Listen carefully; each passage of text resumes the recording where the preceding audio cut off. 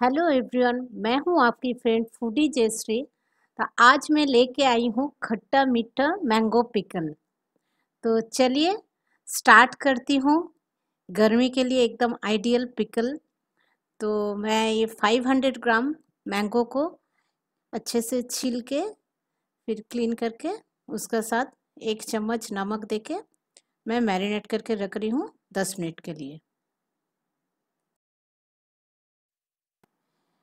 दस मिनट का बाद एक कढ़ाई के अंदर मैं अभी मैंगो को दे रही हूँ।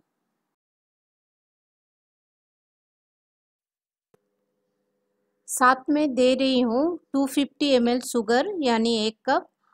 आपका मैंगो अगर बहुत ज़्यादा खट्टा है तो आप थोड़ा और ज़्यादा दे सकते हैं।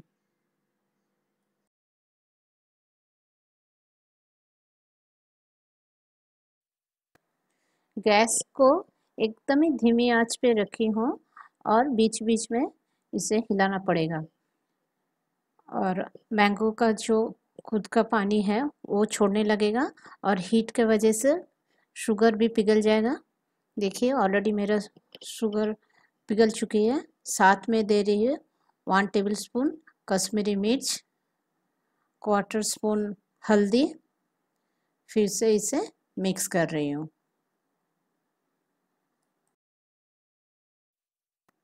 तो देखिए, मैंगो अपने आप कुक हो रहे हैं। दस से पंद्रह मिनट टाइम लगा। देखिए, एकदम ही परफेक्ट बॉयल हो चुका है। अभी मैं इसके लिए एक ड्राई मसाला बनाऊँगी। एक पैन गरम करके इसके अंदर दे रही हूँ वन टीस्पून पाँच फोड़न वन टीस्पून सौंप वन टीस्पून जीरा।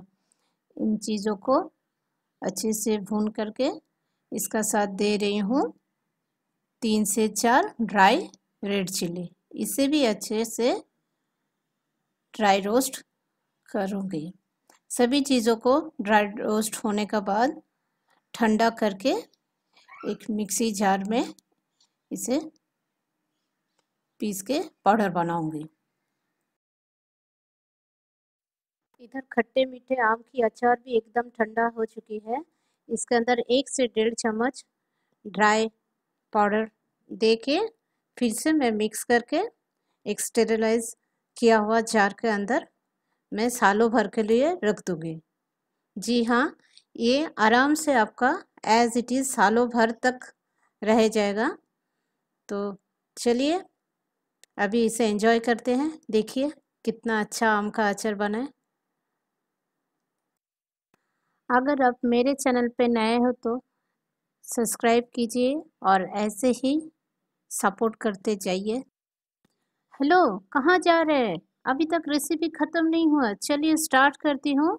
नेक्स्ट रेसिपी खट्टा मीठा और एक आम का अचार, आम का जेली आम के जेली के लिए आम को अच्छे से धो के, फिर उसे छिलका छिल के ग्रेटर से ग्रेट करके, फिर देखिए नमक से, मैं आधा चम्मच नमक से इसे 10-15 मिनट मिक्स करके रख दूँगी एक छन्नी में। इसका जो एक्स्ट्रा पानी है, वो निकल जाएगा। नमक को अच्छे से मिक्स करके इसे मैं देखिए बाँध के अभी रख दे रही हूँ पंद्रह बीस मिनट के लिए।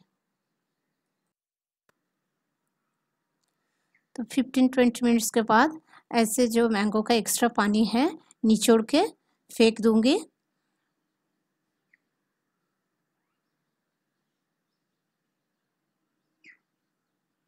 देखिए, मैंगो का इतना पानी निकला। इससे आम का खट्टापन भी थोड़ा कम हो जाएगा क्योंकि ये मीठा अचार है। अभी एक कढ़ाई के अंदर ये ग्रेट किया हुआ मैंगो को लेके इसके साथ दे रही हूँ शक्कर। डेढ़ कप शक्कर मैं दे रही हूँ। अच्छे से अभी मैंगो और शक्कर मिक्स करके धीमी आँच में रखूँगी। अपने आप ये शुगर पिघलेगा साथ में दे रही हूँ हाफ़ चम्मच नमक।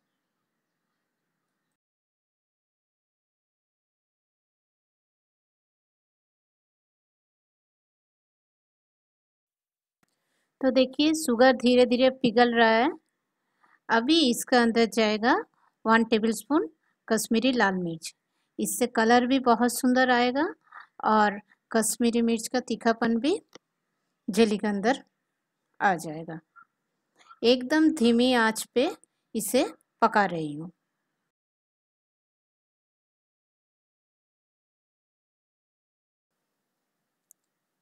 साथ में दे रही हूँ टू टेबल स्पून विनीगर ये प्रिजर्वेटिव का काम करेगा। और इसी का साथ दे रही हूँ, पहले से पिसी हुई